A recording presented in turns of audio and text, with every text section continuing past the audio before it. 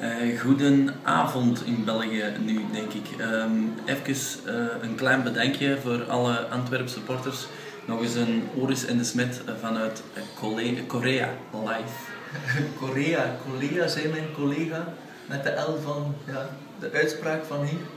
Uh, inderdaad, het is ver van huis dat we zitten en zoals Kevin en ik het in België deden, het is Oris en de Smet.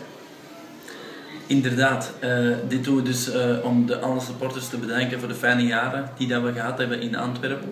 Um, we kijken enorm hard uit uh, naar misschien ooit een terugkeer naar de Antwerp.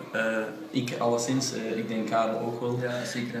Um, we hebben daar heel mooie jaren gehad. We hopen misschien zelfs nog binnen een x aantal jaren daar ooit terug in de hel van Deurne Noord te staan.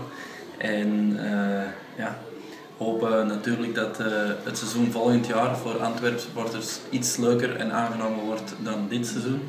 Uh, wij supporteren alleszins heel hard mee vanuit Korea. Elke wedstrijd volgen we hier. en blijven natuurlijk ook op de hoogte van de veel supporters die regelmatig ons een update geven. Wel ja, hij neemt mij de woorden uit de mond. Ik zou zeggen, come on you Reds and you'll never walk alone.